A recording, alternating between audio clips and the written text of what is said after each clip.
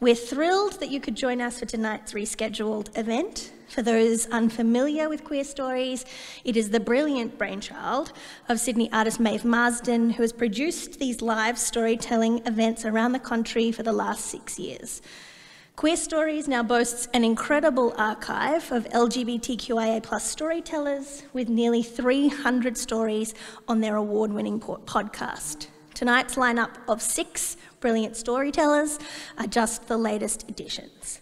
Some important things to know about me as your host. I am an Aquarius with Aquarius rising, a human design reflector, and I contentiously believe the order of favourite Spice Girls should go scary, ginger, baby, sporty, posh. I know, I said contentiously. But most importantly, I adore queer stories. I have been an audience member many times and told my very own queer story back in early March of 2020 in the before times. But most, uh, so if tonight is your first time with us, welcome. We are so glad that you are here. Prepare your loins to be delighted. And if you've never, and if you've been to Queerstories before, welcome back.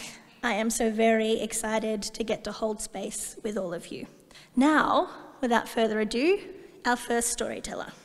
Zenobia Frost is a writer and poet.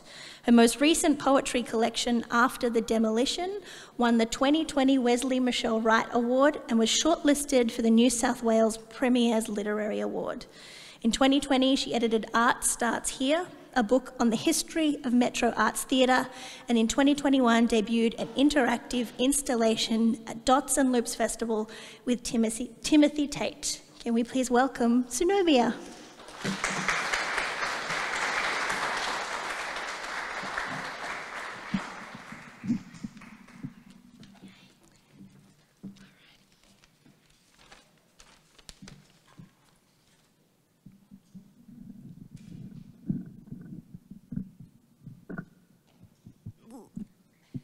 We've got a challenge microphone. I'm very short. Thank you very much. Right. Thank you so much, everybody. Um, facts about me uh, my pronouns are she, her. I'm very short. Uh, Taurus, Taurus, Taurus rising, a bit of Aries in the sun, a lot of this. Uh, Spice Girls definitely sporty first, then all the rest. and uh, I'd like to tell you a story about the before times.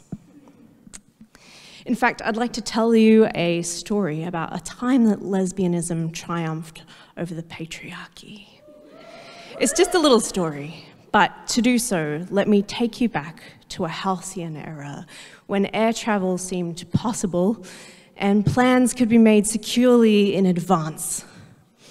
The year is 2015 my Bessie and I have decided we're going to see the world or at least eat our way through Germany and Italy for a couple of weeks. The Sorrento homestay is the tour of choice for those of us too introverted for Contiki pub crawls and too nervous to trek alone. It's a family villa on a lemon farm, and the whole place smells sunny with citrus and olive oil. A rooftop view of Vesuvius, homemade limoncello. The trip begins like the setup of an Agatha Christie novel. Picked up from Naples, our tour group gets acquainted via Memento Mori in Pompeii. There are the newlyweds from New York, the vegan professor who asks endless questions about how the food is sourced, the retired day drinking Kiwi dairy farmer who didn't want to die without catching a plane, the hip young family with one teenage daughter, and a charismatic Grey's Anatomy style doctor who'd like to think this story's about him. There's, of course, my bestie, my actual gal pal, Tani, who everyone assumes is my girlfriend. At this stage in my life, in 2015, it's funny that Tani and I are radiating bisexual energy this hard, given she is straight, and back home I have no less than three boyfriends. Side note, I feel like when I talk about my history of polyamory, I sound like my dad boasting about smoking a stack of weed in the 70s. Anyway, I didn't inhale or whatever. So back to Sorrento. There's also Tiffany, who's on this trip as a little treat to herself for graduating from college in Ohio before she starts her grad degree. One might call her a witty and vigorous all American girl. She's so sporty, gal next door, it's not funny. And she is, in fact, in the room next door to us, cursed to share with the eco professor. No doubt this trip has ballooned out into something even more idyllic in my mind in its pre pandemic memory bubble. The last time I was on holiday. But this place is probably where I'll go where I'll die, provided I've been good. To get to the beach, we walk through the lemon trees, wind down the hill through olive groves and veggie gardens, and down ancient stone stairways.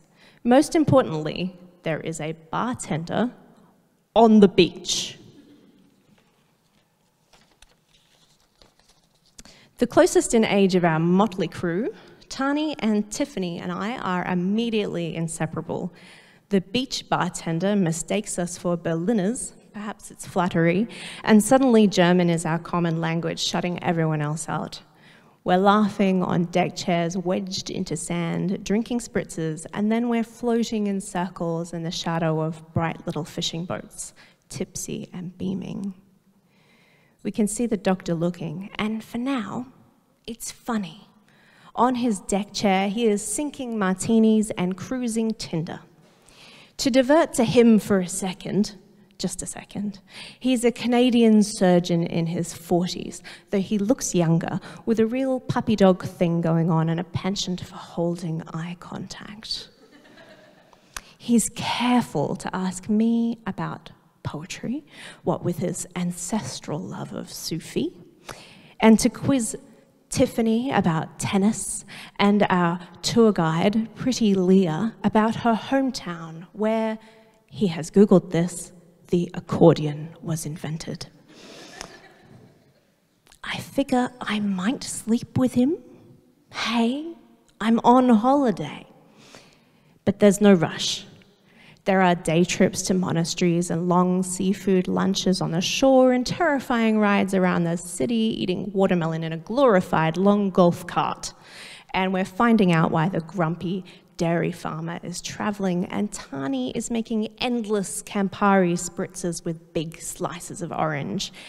We charter a boat to Capri and swim in the Tyrrhenian Sea, so blue it's a cliche and while my bestie is hurling last night's limoncello off the side, I watch Tiffany stretched out like a cat drying off in the sun.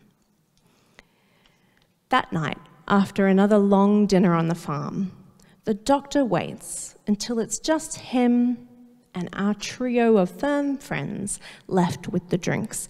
And true to his perceived age, I guess, he suggests truth or dare we girls share a look. Sure, we'll play along. This is how I learn that Tiffany has never been with a girl and would like to. The doctor and I both take note of this. All right, interesting, good to know. And then he uses this line on me that I've never forgotten. You, he says to me, you don't need to be seduced.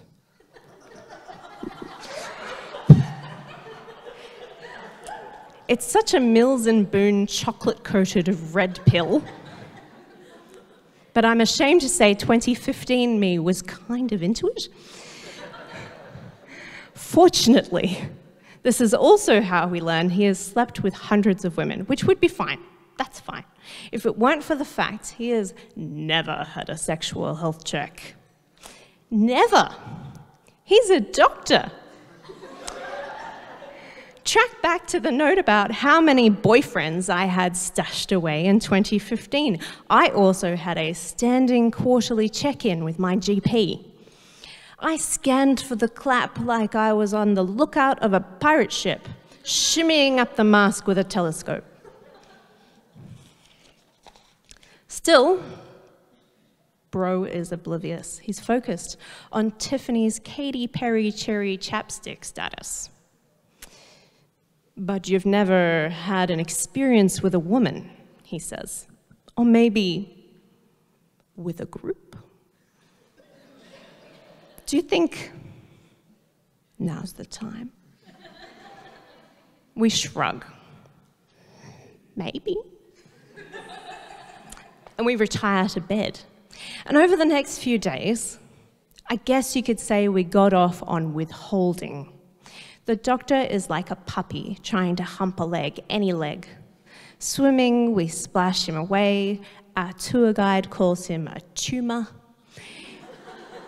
He's slipped on that tightrope between Casanova and Lothario pretty quickly, not getting what he wants and no number of half asked questions about Sufi poetry can make up for the whole definite chlamydia thing.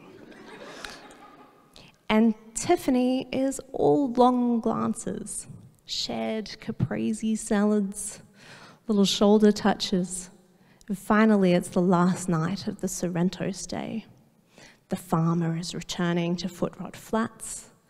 The professor is returning to Portlandia sketches. Tiffany will start her master's degree in Indiana. And Tanya and I will return to Brisbane, where I cannot even begin to tell you how many boyfriends it takes to initiate literally one orgasm. no one wants to leave. We're all on the patio till late listening to music on the surgeon's Bluetooth speakers I won't be able to afford for another five years. And then finally, it's just him and her and me. He looks at us like tonight's his night. He's so certain all his pestering has finally paid off. We're tired, we say. Good night. And Tiffany and I, in psychic agreement, walk calmly off, not towards our rooms, but into the lemon orchard. And under the stars in the olive grove, we are very much alone, and she gets her missing college experience and then some. and for a couple of years, connected across the weird distance of Facebook, we exchanged tiny dyke nods across the internet, with Tiffany tagging me now and then in obscure news about the history of lemons. And the doctor? I can't remember his name, but I really hope he got that shit checked out. Thank you very much for having me. Queerstories uh, at QAGOMA.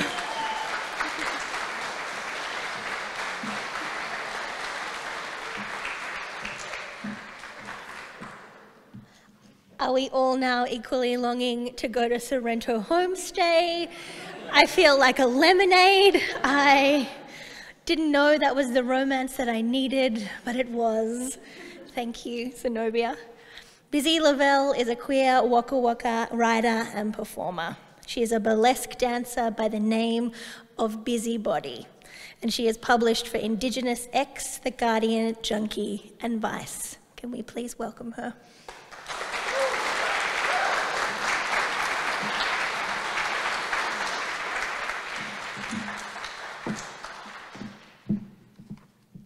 Hi.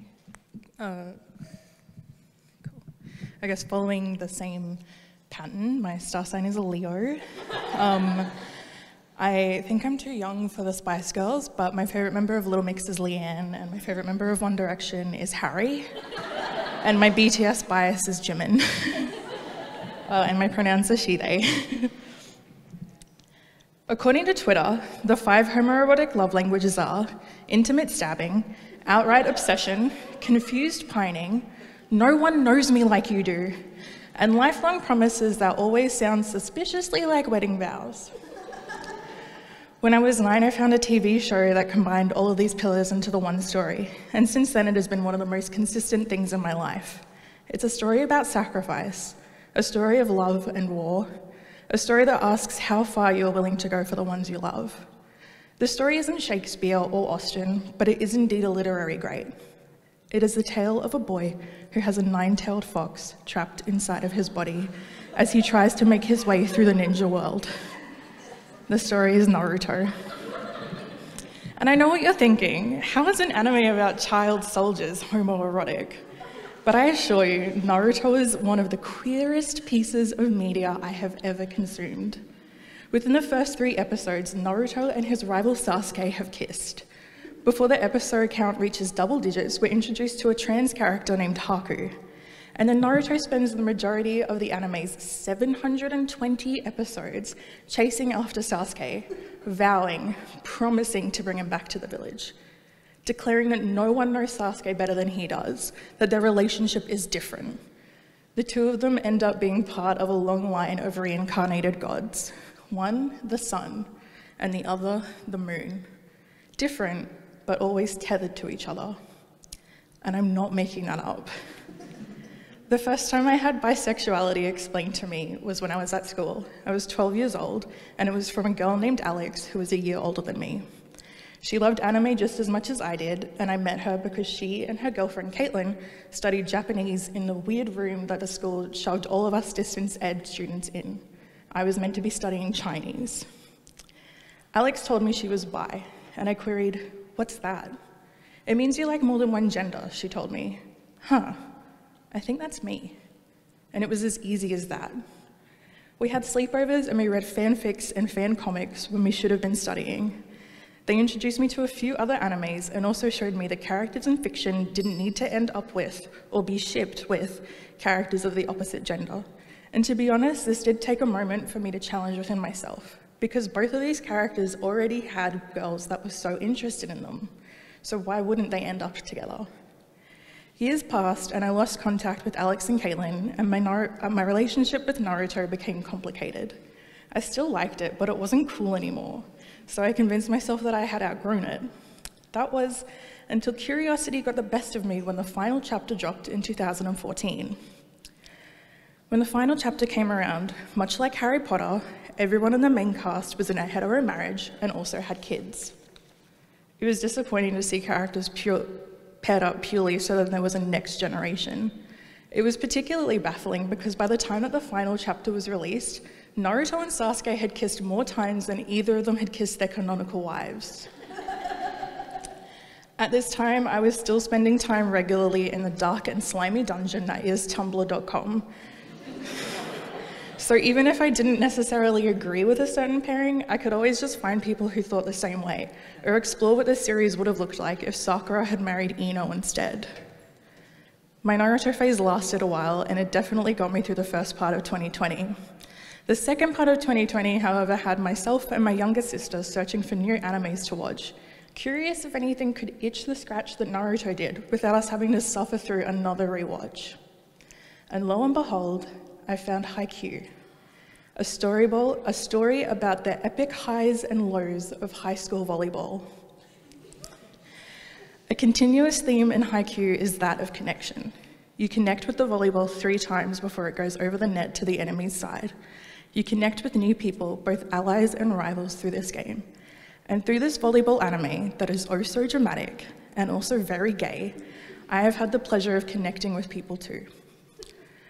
One of the first friends that I made on anime Twitter, or Annie Tweet, is someone who loves Sanrio plushies and lives in a time zone that's two hours behind ours. This person is someone that I genuinely love with my entire heart, and I can confidently say that just because you're in different countries and you've never met IRL, it doesn't make the friendship any less valid.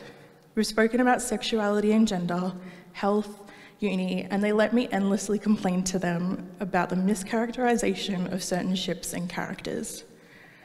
We also both hate the way the Netflix originals seem contractually obliged to have a sex scene in every single episode.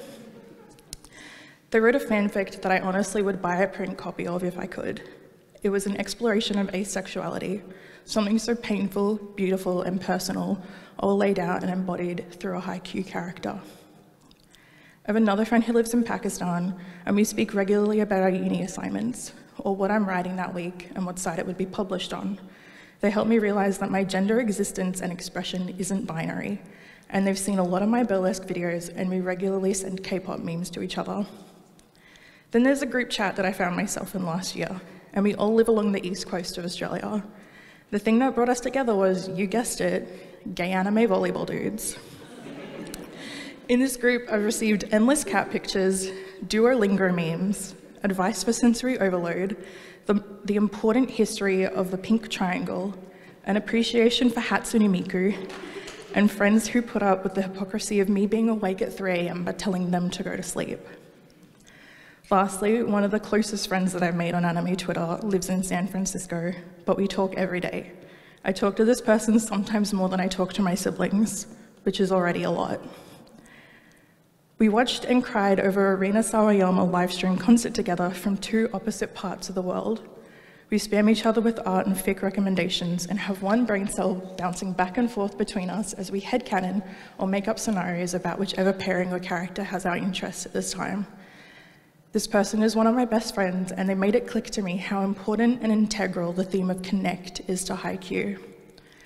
Two of the main characters that I really adore, Kageyama and Hinata, First connect on opposite sides of the volleyball net. Kageyama is angry at Hinata's wasted potential, and Hinata is devastated over a loss, but he vows to win the next time they face off. A few weeks later, Hinata and Kageyama are now teammates and declare to each other in a room full of people that they've just met that they're invincible so long as they're together, which is very dramatic, very gay, and suspiciously sounds like a wedding vow. Anime's always been so important to me, and having friends who have similar interests is equally as important. A fire lit inside of me back when I met Caitlin and Alex in our weird language classroom, and I've been lucky to find other friends like them over the years. Growing up, any shows that were popular were killing their lesbians every second week, would have girls pretend to be gay for popularity, or have really harmful depictions of queerness or bisexuality, and that is when they weren't afraid to use the word bisexual. Tuning that out and finding the gay subtext or homoerotic undertones in anime was just easier. And there's definitely issues with homophobia and sexism in anime and manga, and I certainly don't need to tell this crowd about the issues of representation because we've all lived it. But there's just something so special about how in 2017, ice skating anime, Yuri on Ice, posed the question, fellas, is it gay to exchange rings with your homie in front of a church? And that makes me think that regardless of how good representation and live action comes, I'll never walk away from this medium. Because every time that I return back to a Naruto phase, as cringy as it is, it feels like a calming and peaceful return to home. Because through Haikyuu, I found ways to connect with people who are so alike, but live different lives in different places. Because I found a place where my biggest interests and one of the most important things about me cohabitate, and I genuinely couldn't feel happier or luckier. Thank you.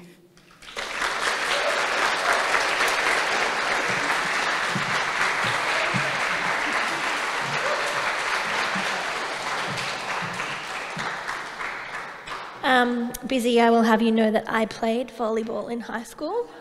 And I wish it had been as cool or gay or emotionally expansive as you described. Sadly, it was not. uh, Michael James is a teacher, writer, producer, and the current entertainment editor for Q News magazine. In 2011, Michael and his husband came to prominence as part of the Rip and Roll campaign that gained international attention and spurred his involvement in queer activism. He has served on the Brisbane Pride Festival Committee for nine years. In 2011, Michael and his husband became parents to a nine year old boy through the Queensland foster system, who went on to become a permanent part of their lives. He has written about this experience through his blog, Two Dads and Me. Please welcome Michael.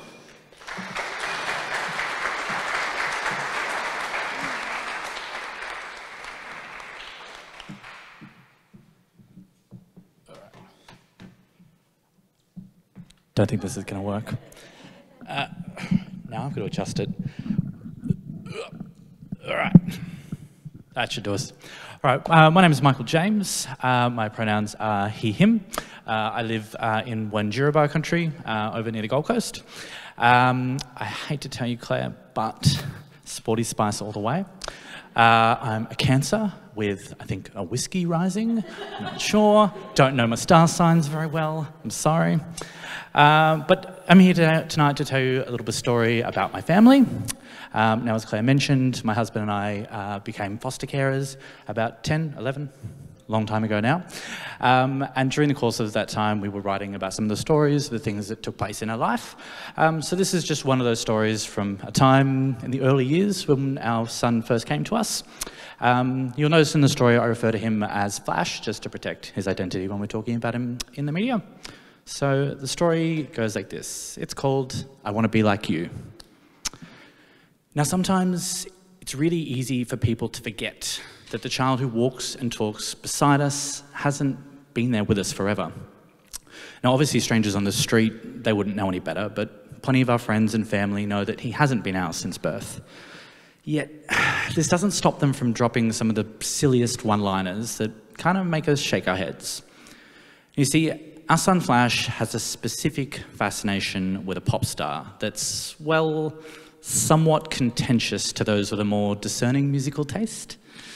Now, when I say fascination, I may be laying it on a little lightly. Obsession may be a little bit more of an accurate description. The artist in question is one Justin Bieber. Yes, that's right, the hair flipping, high voiced, baby crooning, panty dropping teen superstar of the world. Our boy is a believer. He has the Bieber fever, and we realized pretty quickly that there was nothing that we could do about it. In the scarce collection of belongings that he brought from his old house to ours came a throng of Belieber material. Not one, but two. Two copies of his movie on DVD. His albums, posters, and even, wait for it, the doll. Yes, there was a JB doll, pint-sized and plastic, just like the boy it was created from. But this was somewhat of a shameful obsession for Flash, one approached with great trepidation. According to his peers, the Beebs wasn't the coolest person in the world. Well, not for the boys anyway. So his approach was always like his own little coming out. He had to test the waters and poke and prod and search for reaction first. The first time we met him, we asked him about the things he enjoyed. He said, Oh, yeah, I like my bike and my cars and stuff, and I like music. What sort of music do you like? Silence. Well, you know Justin Bieber? Well, I don't like him at all. Uh, he's so lame and all the girls love him. His youth worker at the time casually raised his eyebrows at us with one of those looks. We smiled. Really? We've heard he's really popular. Lots of people like him. He looked up. Yeah, well, I do like some of his stuff. He's kind of cool. An admission that was like releasing an avalanche for him. Well, that's pretty cool, isn't it? We said. You could see the relief of the burden of the judgment kind of wash over him. You see, his obsession was different to the ones that I had over pop stars as a kid. It wasn't like that time that I scrimped and saved to buy the Hanson video of Tulsa, Tokyo, and Oklahoma, um, so that I could replay it over and over and over again to decide which one of the boys that I wanted to be my boyfriend. Or like the NSYNC and Backstreet Boy posters that adorned my walls as a teenager, and the slight obsession I had over Nick Carter for the better part of a decade. This was more of an idol fascination he truly looked up to the Beebs as someone that he wanted to be, or at least be like. In all of the intricacy of his childhood and his search for attention and acceptance, he was just thinking, if I can be like this guy, well, then more people will like me. He'd done the math. Millions of girls like this guy, so wouldn't it make sense to be like him? If he could master the magic of the Beebs, then surely more people would love him, right? So fast forward, and we had a small barbecue with one half of our family shortly after he'd moved in. Now, once he had them gathered in the house and he was feeling sufficiently comfortable, he figured it was time to pull out his signature moves for the family. Um, excuse me, can everyone stay here for a minute? I need to show you my dance. His captive audience awaited. The music started. Oops, no, wrong song, wrong song. Just wait, just wait. Stops, starts, runs out. And what followed was very impressive. He entered down the hallway, baseball cap pulled down over his face, plastic guitar strung across his back, stops, head down, dramatic pause. The head slowly rose upwards as he stared at his adoring crowd. The performance was upon us, and he knocked it out of the ballpark. He had memorized the top Bieber moves the air grab, the pointing at the adoring fans in the audience, and even some of the actual um, choreography. And bam, the hat flew off. He ran, he jumped, and he knees down on the floor, pulled the guitar around in front of him, did his best solo effort, and everyone in his adoring crowd cheered appropriately. The song ended, and the whole family applauded. Wait, I have to show you my next dance. So he went in and he proceeded to play a different song and entered the room dramatically again, performing the same exact dance, move for move, just to a different song. His repertoire was strong, but it wasn't diverse. Now, it turns out this was a habit formed at school, of all places. On Fridays, in a somewhat show and, show and tell style segment, they were allowed to choose things to show or do for the class. Now, apparently, it had become a ritual that on Fridays he was allowed to perform his dance to the class.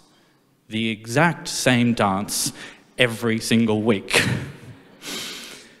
uh, to their credit, his classmates never mocked him or teased him, and in amongst all his anxiety and swirling mass of thoughts and ideas in his head, he had the confidence to get up and do it week after week.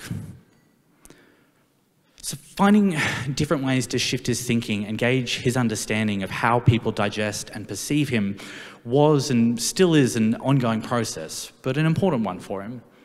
And later down the track, he would end up in speech and drama classes that saw him thrive, like one of his fathers. He seemed born to perform. But What was frustrating at times were those little things that sometimes people would say, those little what the fuck moments.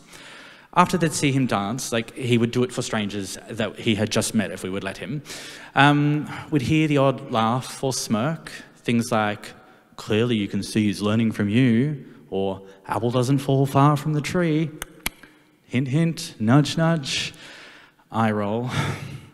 This would all be well and good if perhaps, you know, we'd raised him from a baby, but these comments could sometimes be really deriding our confidence in raising him to be his own person. Not to mention our general disdain for Justin Bieber and our combined talent at being terrible dancers. this part to him was all him, and those comments served to almost strip him of his own identity by playing it back onto us. He'd had nine years to formulate his own personality, which was thriving. And to have anything flamboyant about it, thrown back to the fact that he now had two gay dads, was kind of ridiculous. But the comments would never come with malice. They were always in jest, and it was usually from those we loved and treasured the most. But still, they added more weight to the growing complexities of raising a very energetic young man in a world where all eyes were on us.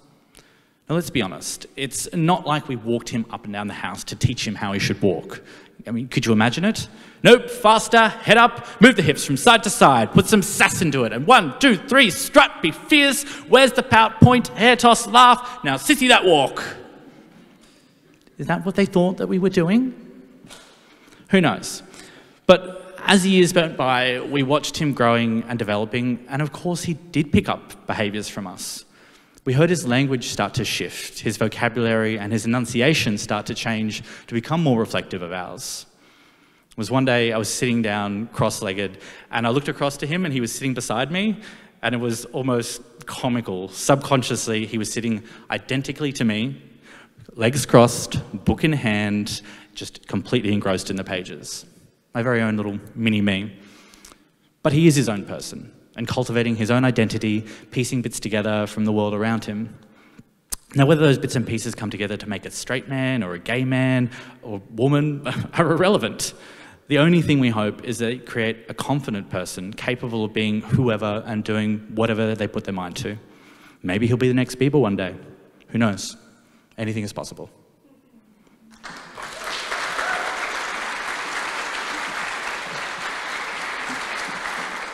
Okay, Tigah Macey is a passionate activist and has worked for community groups including Tropical Fruits, ACON, mental health organisations, community galleries, community radio, animal rescue, and more. They enjoy practicing art, poetry, and other forms of writing and are always looking to learn new creative outlets. Tigah lives with ADHD and chronic illness. They are very passionate about making the world a safer place for everyone to be able to be themselves, especially those who have faced stigma. Tigah loves to attend kink events and connect with the kink community. Tiger Pup has been making friends and going on adventures since 2013. Can we please welcome Tigah?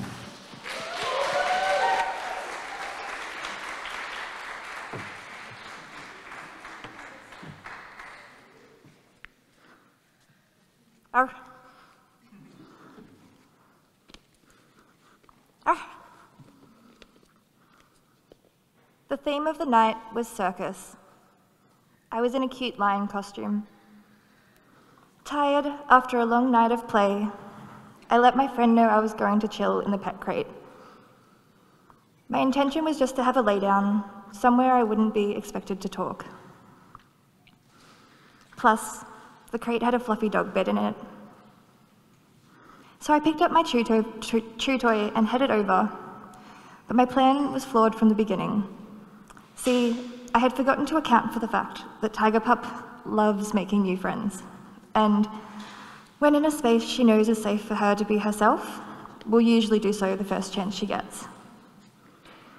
By the time I had lowered myself onto all fours, crawled through the door of the pup crate, and turned around, my hands were no longer hands, they were paws. I was already in pup mode, and I was quite unprepared, and I didn't even have knee pads on, which I paid for proudly with grazes later. So I did all I could think of doing in that raw and beautiful headspace. I sat there pawing at the door of the cage, unsuccessfully trying to pull it towards me. I did so contentedly for what felt like several minutes, until one of the lovely staff members came over and closed it for me. As they went on their way, I wagged my tail in thanks. I turned in a circle a few times before curling around my toy. After a few minutes or so of comfortably napping, my energy levels started to rise again. My toy suddenly seemed to be calling for me to christen it with a few good chews. I booped it with my nose before swiftly grabbing it between my jaws and shaking my head from side to side. I even bumped the end door of the crate open and vaguely realized that it hadn't been locked. Once I felt my prey was defeated, I started to chew on it, trying my best to nail the squeaker to create that satisfying sound.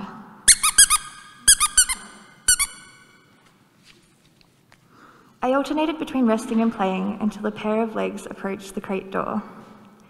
A lovely human crouched down and smiled at me widely. Hi, puppy. Do you like pets?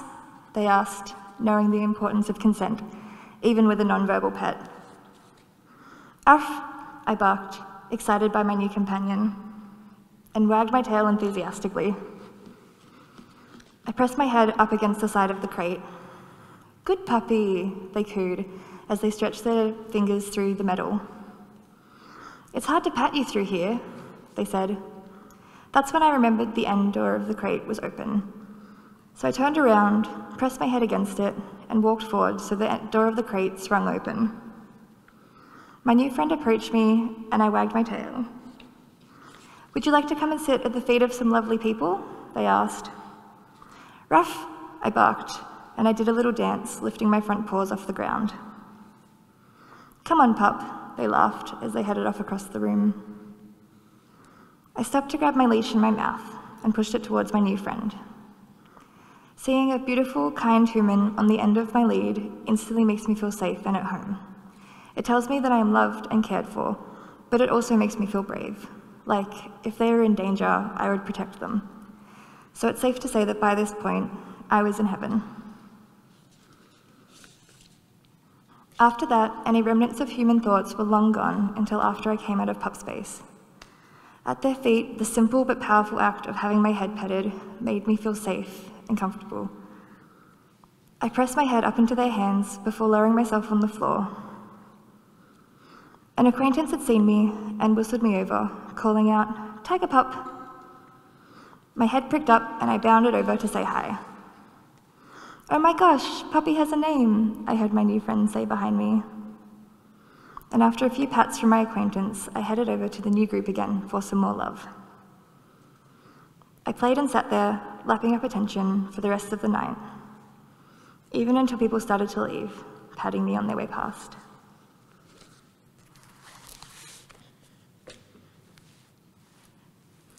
Hi.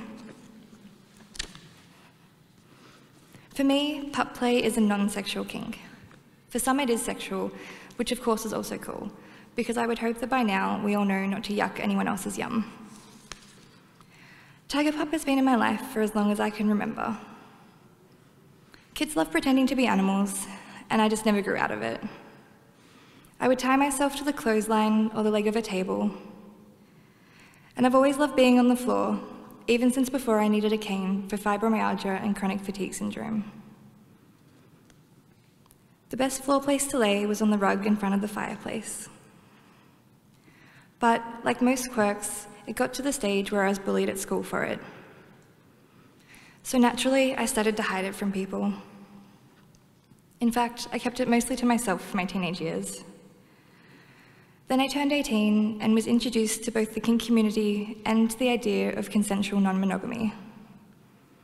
Finally, my life made some sense. I was over the moon when I realized there were other people like me out there. And better yet, there were safe places I could go where I could be myself and engage with others who accept all of me. Being able to express that part of me safely with other people and pups is such a blessing, and doing so gives me a deep sense of purpose, fulfillment, and joy. Over the years, I have used pup space as a safe haven to go to, even when I've been on my own. Because sometimes I just need that break from the human world and my human brain. I even have tiger pup dreams where I'm in a biological dog's body. It's fun. I have always felt Tiger Pup changing me from the inside, making me braver, friendlier, and more fun. She has no social anxiety, no anxious thoughts, or self doubt. Tiger Pup doesn't catastrophize or, or stress. She isn't scared of the dark. She doesn't overthink. She just is. Life is complex, and it's important to slow down.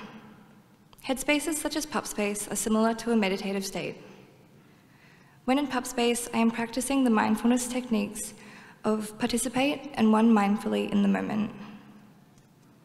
This, I believe, is one of the many, many benefits of engaging responsibly in kink activities. I mean, when you're in the middle of a role play, all of the complexities of your day to day life just melt away because there are more pre- pressing things to attend to, such as chasing a ball, or getting scratches, or making new friends.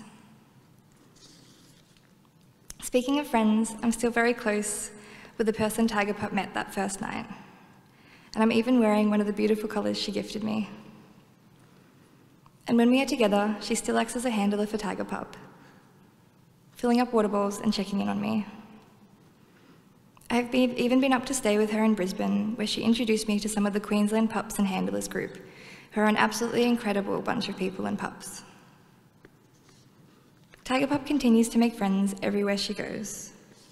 She is stronger than I, which is why I needed her help tonight. And I can't help but think about how lucky I am to have something to do on a Saturday night that doesn't leave me with a hangover. Loving Tiger Pup has been a big part of my journey of learning to love myself and I hope you can all find the things that can do that for you. Thank you very much.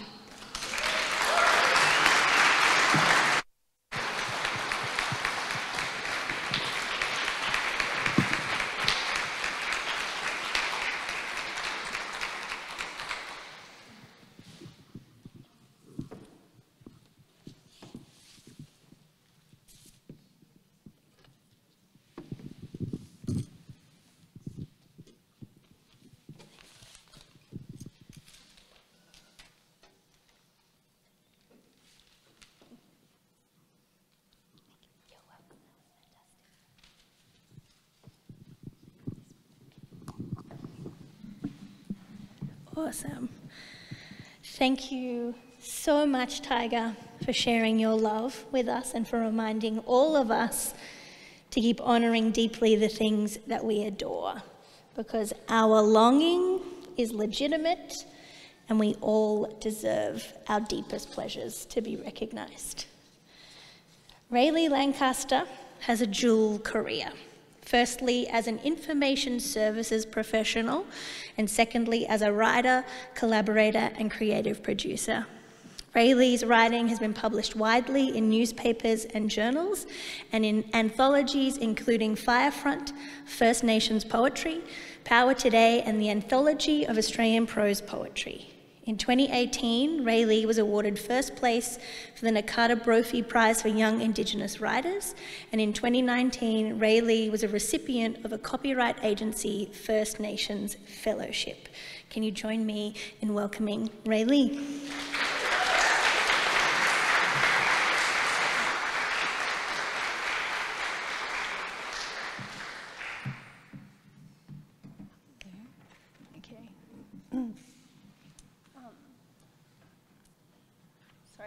iPad, so take me a second. Thank you.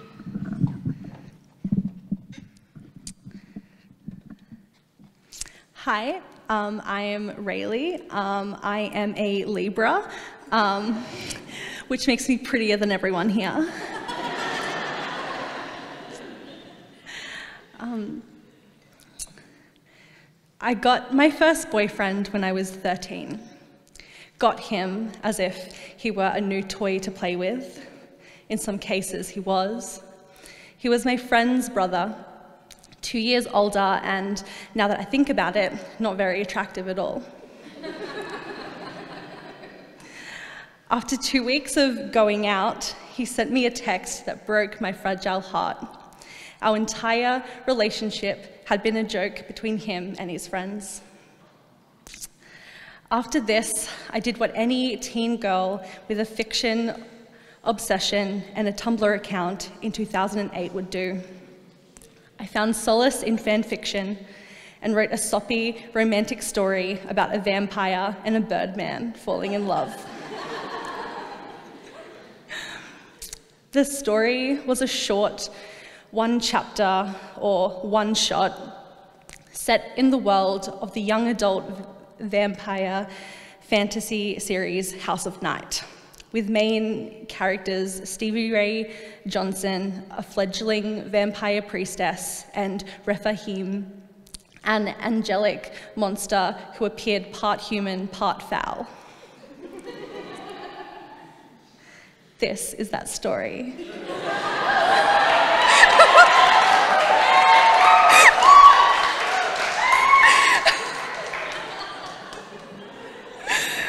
Rephaim, Rephaim had risked his life to save mine on numerous occasions. But right now, I needed to risk myself and everything I believed in to save him.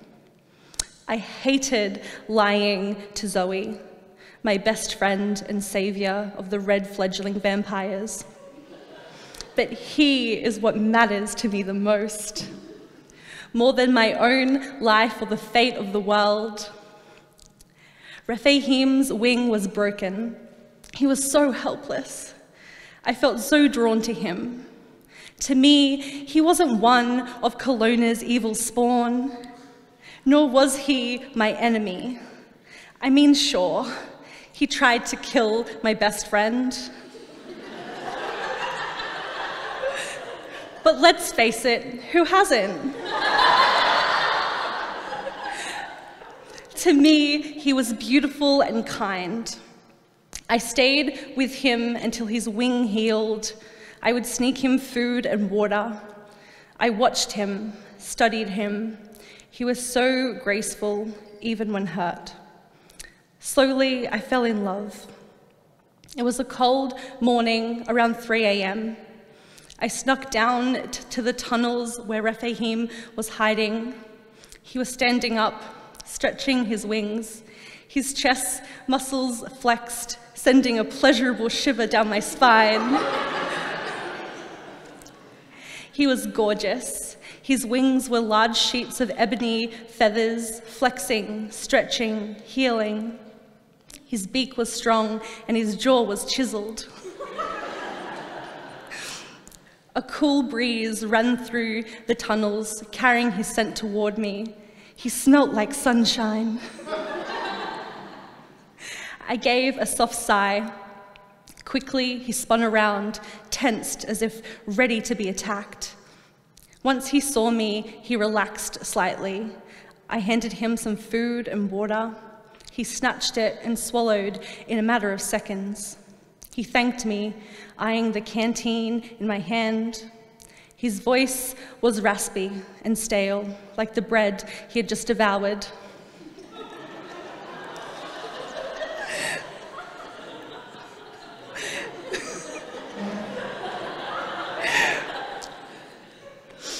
So I lifted the canteen to his beak, and the cool, refreshing liquid ran down his gullet.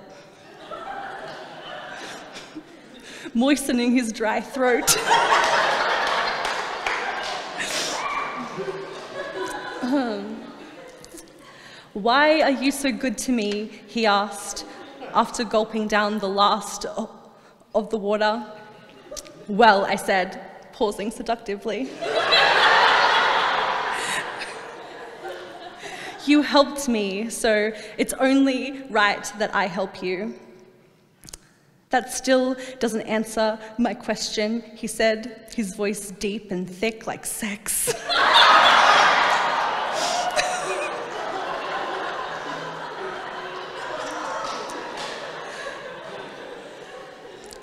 I sighed.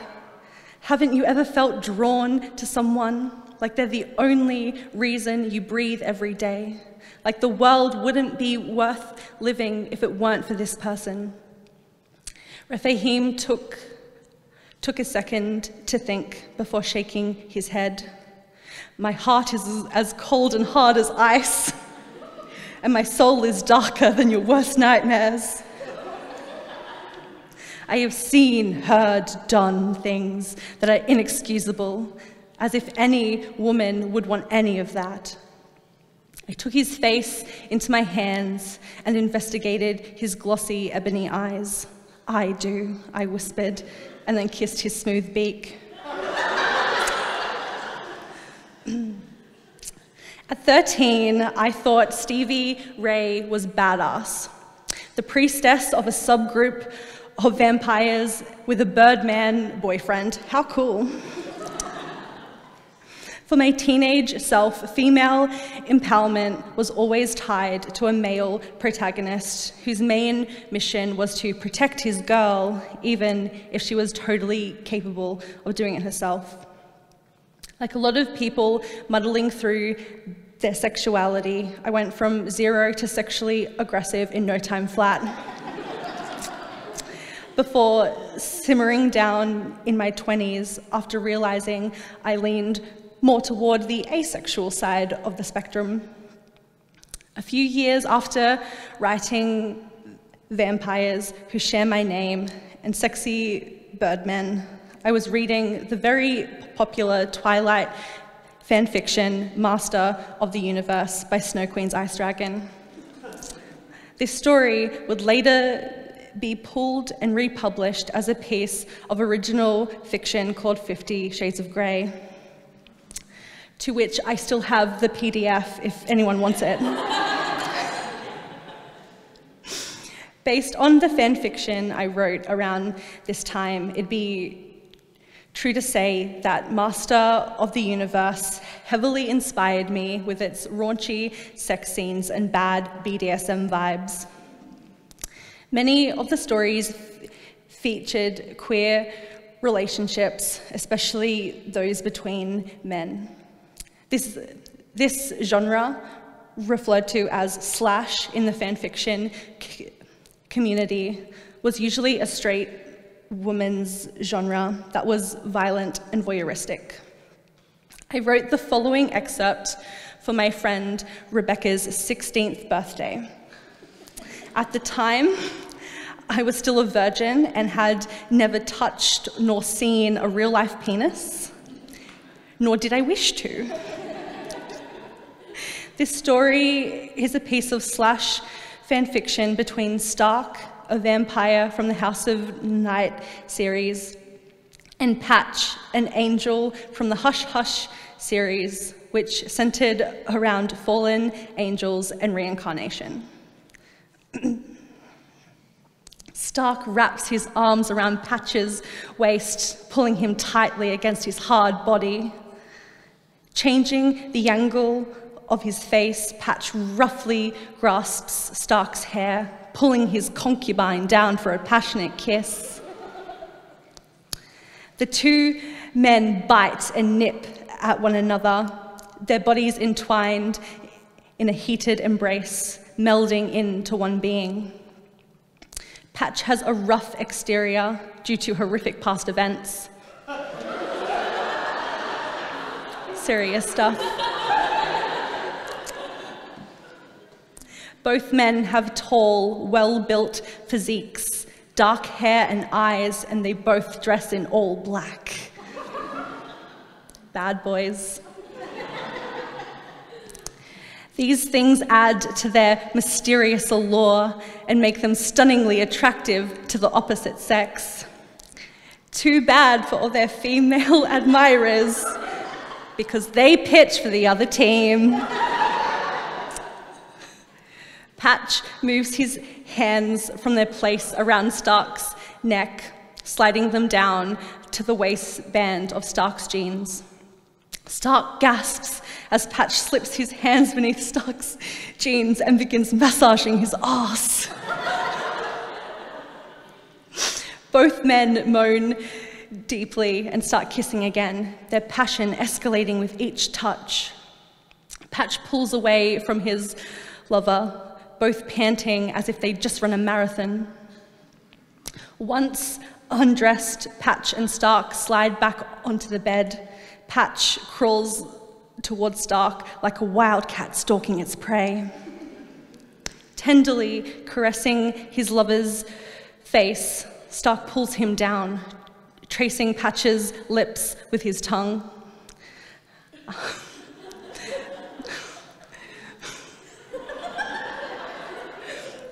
Patch devours Stark's lips with his own, his hands exploring his paramour's naked body. And then they have Fifty Shades themed sex for the next 2,000 words.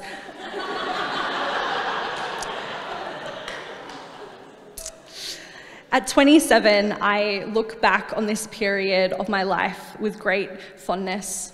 The fan fiction community provided me the comfort and camaraderie I lacked in real life. However, while fan fiction offered solace, it also furthered many stereotypes, like the somewhat homophobic gaze of women writing gay male sex. And I was complicit and still am in all of it. It took time for me to realize that I can, I can love the joy and healing fan fiction can bring while also being critical of the form itself.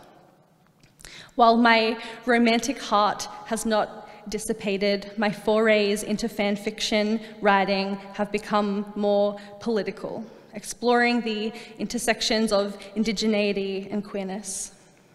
And if you find any of these stories online, or find out my username on fanfiction.net, Wattpad, archive of our own, or Tumblr, never let me know.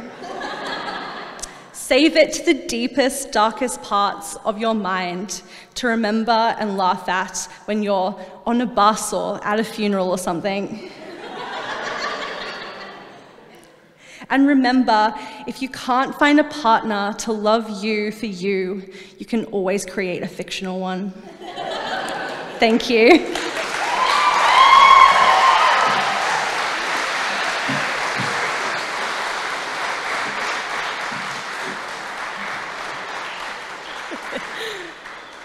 Firstly, fuck that guy. Secondly, I wish my voice could be deep and thick like sex. Thank you for your nostalgic deep dive because it made me remember my own Dawson's Creek fan fiction that I wrote la- no that I wrote when I was 14. Emil Cañita is a queer Filipino Australian storyteller currently living in Nam. Emil uses their body and social media account to explore different themes surrounding human sexuality, queer relations, and as a diary of someone who is HIV positive, uh, who is a HIV positive person of colour living in post-AIDS Australia. There is a content warning for sexual assault, trauma responses, and sex in this story. Can you please join me in welcoming Emil?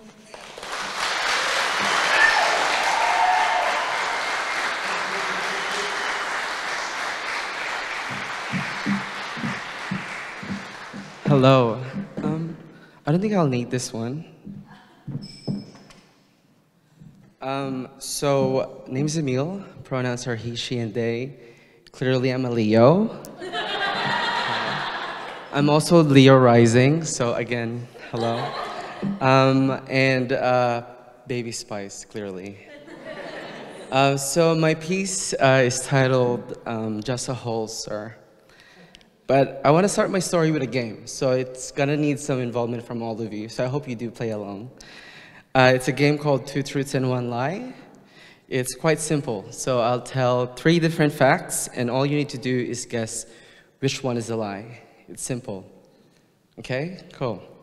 So are you ready? Yes. Great. So the first one is my mom, hi mom, is a professional singer in Hong Kong and sang at one of Jackie Chan's parties. That's the first one. Second is that my uncle is an award-winning Elvis Presley impersonator in Southeast Asia. And last, and certainly not the least, um, I've sucked off 562 dicks through a glory hole in the past 10 months. So, if you think it's the first one is the lie, you gotta raise your hand. So my mom sang at Jackie Chan's party in Hong Kong, no? One person. One person thinks it's a lie. Second, uh, my uncle is an award-winning Elvis Presley impersonator. Oh, wow. Okay, great. Thank you. And then the last, um, yeah, I've sucked off 562 dicks through a glory hole in the past 10 months. That's the lie. Great. So, the lie is um, I didn't suck off 562 dicks through a glory through a glory hole in the past 10 months, I've sucked off 862 dicks.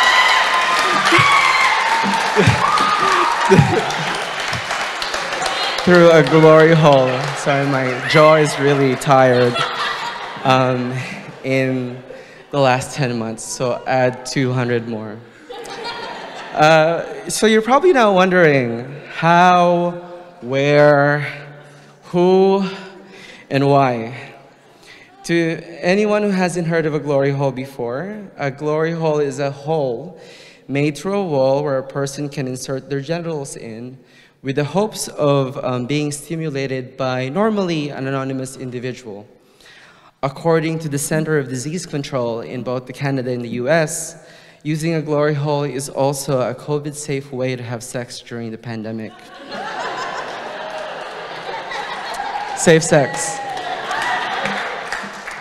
Um, now, would you believe that the glory hole was a product of therapy? Let me tell you the origin story of the now famous hole. I was raped when I was a kid, and it's taken me about 20 years to finally talk about it with someone. When I finally did, it was with my therapist, and it was about almost a year ago. Having developed chronic PTSD due to this experience, Part of the treatment course is this thing called EMDR. Has anyone heard of that before? You. Um, and it stands for Eye Movement Desensitization and Reprocessing. EMDR is an effective form of psychotherapy that can help people who experience PTSD to reprocess their trauma.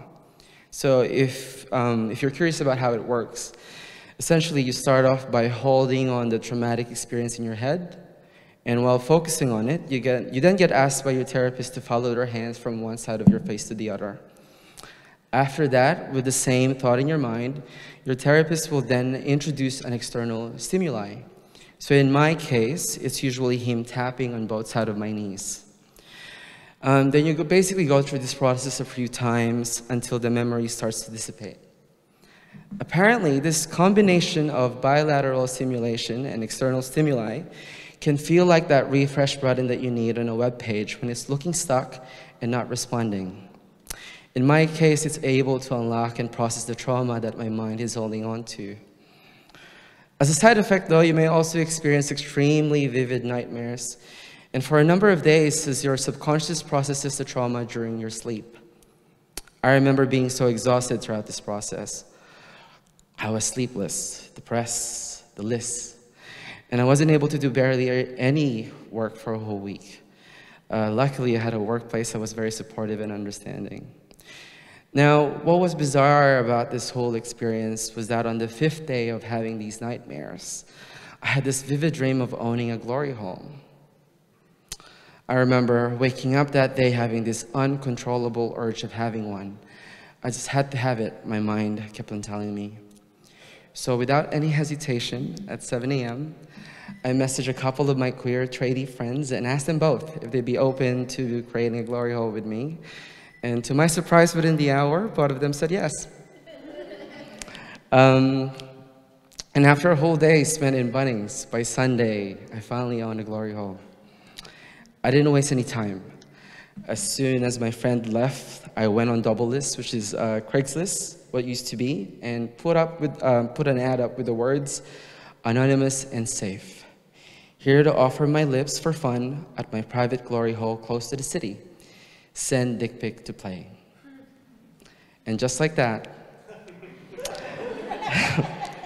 in less than an hour, I had my first visitor, a 27-year-old tradie who happened to be working close by. Once he arrived, I sent him the instructions on how to come up to my apartment what number he needs to buzz, what floor he needs to get up to, and, what, and that I've left my door unlocked, and to make sure that he takes um, his shoes off by the door. We don't need to talk if they don't want to, and all they need to do is sleep themselves inside the hole. The rest is history. As soon as it's done, he can just sit up and go. Um, now, although I was actively involved in planning the glory hole, building the glory hole, and christening it, uh, all in the same weekend. I was somehow still surprised and bewildered by, by its existence. When I saw my psychologist again the following week, I couldn't help, but say, what the fuck? Why do I own a glory hole now? um, a part of me just wanted to shift responsibility as if the glory hole just happened to me. He said, when people are able to unlock a process or process a traumatic experience, it's very common for us to have a bodily response. He added, because it was in the middle of lockdown, um, when this was all happening, I had very limited options of how I'm able to express myself. So it only made sense that I reacted in a way that happened inside my home. Insightfully, he also said, if you think about it, this is the first time in your sex life where you're able to be playful and experiment. He was right. Before all of this, even though I was very sexually active, my body was often quite tense in bed. Like a body inside a car that's just about to crash, I'm always bracing for impact. It was also the first time in my life, as a person of color who's HIV positive, where I didn't have to navigate sexual racism and HIV stigma. Because of the anonymity and minimalism of the whole experience, in this case, because there's a little wall uh, between me and the other person, I also found that I don't get asked stigmatizing questions like, are you clean? Or come across statements like, no fats, no femmes, no Asians. I thought to myself, is this how it feels like to be white and negative? Who knew that by reducing myself into a hole that I'm also emancipated by the trials and tribulations of identity politics? Through the glory hole, I was able to also expand my gender and explore my transness without the need to constantly pass or perform in a certain way. For example, when I connected with this beautiful fireman who wanted to play Beyond the Glory Hole, I was so hesitant about showing him what I look like. When he finally did decide to take the wall down, his reaction surprised me. All I was met with was these words of adoration and desire. He was so turned on by the very sight of me, dressed up in cheap lingerie and a mask made out of lace. In Rihanna's own words, he made me feel like I'm the only girl in the world.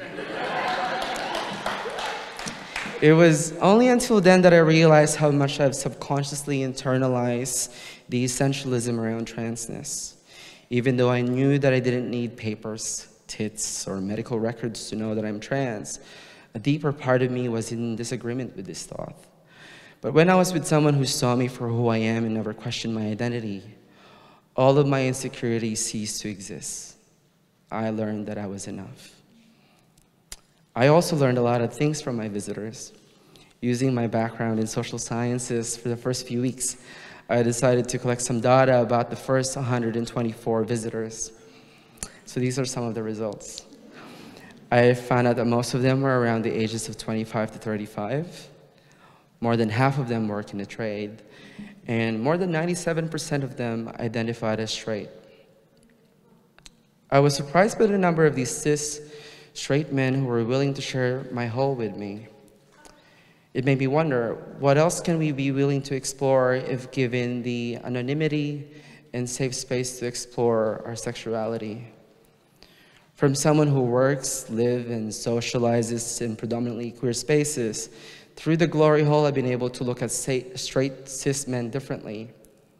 Through this hole, I saw their vulnerability, their softness, their anxieties, their playfulness qualities that I've never been exposed to because for so long in my life I've been mostly afraid of them.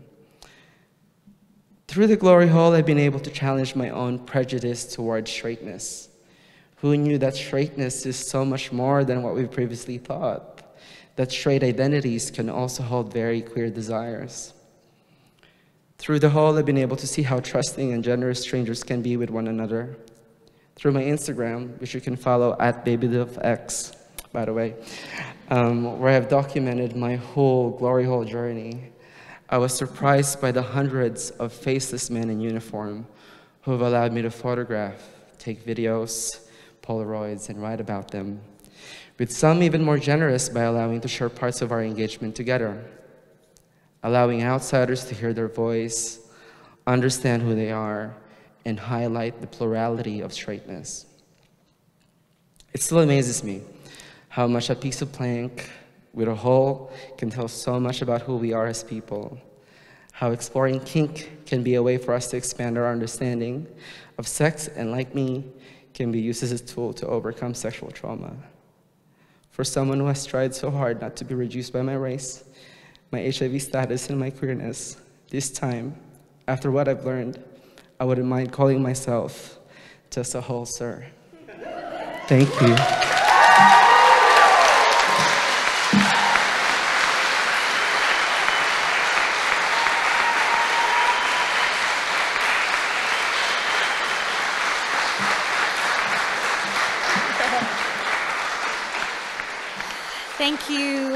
Your honesty, Emil. Thank you for reminding us to commit to our healing, to our authenticity, that our sexuality is fluid and expansive, and that we all deserve to feel like we are enough. Yeah. I told you Queerstories was the best. yeah. Before we wrap up, I want to thank all of our performers for sharing their hearts and truth with us. I know this in my bones. It's why I love what I do, but stories matter. Their power is potent, and I was reminded again of this tonight. So thank you. I hope we all keep telling our stories. Thank you to our incredible Auslan interpreters. I think they deserve a round of applause. Thank you to QAGOMA for supporting the event, particularly Anna and Michaela and the tech team. If you missed the exhibition tonight, please be sure to check it out. And if you love storytelling nights like this, make sure you follow Queerstories on Facebook and subscribe to the podcast. Also, don't forget to tell your own story by participating in the Dear Queensland project. The next Queerstories event is, at May, is on May 29th at the Brisbane Powerhouse as part of Brisbane Comedy Festival. Tickets are on sale now. I have been your host, Claire Christian. You are all a delight. Please get home safely.